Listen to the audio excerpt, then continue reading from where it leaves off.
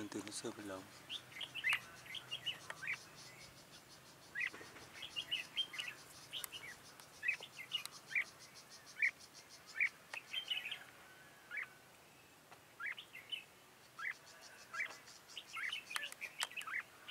lòng sòng phết.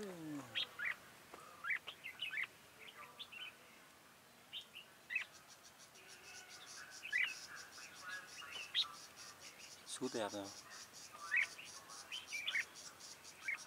tưởng sút của đây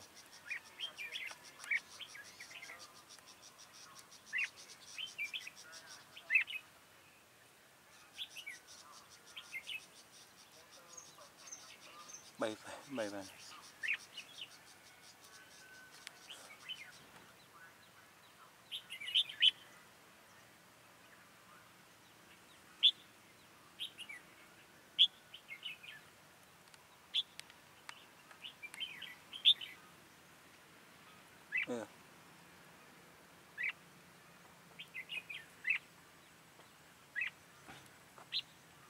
kiểu gì ấy?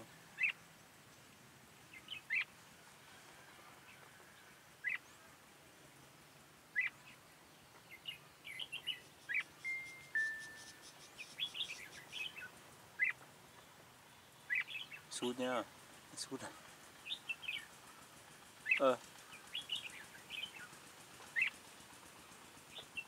Bay lên.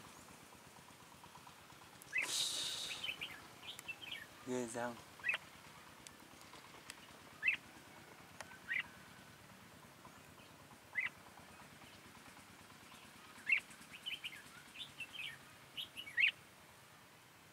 Chết nhá.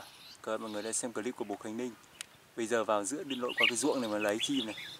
Đấy, cánh đồng này, này.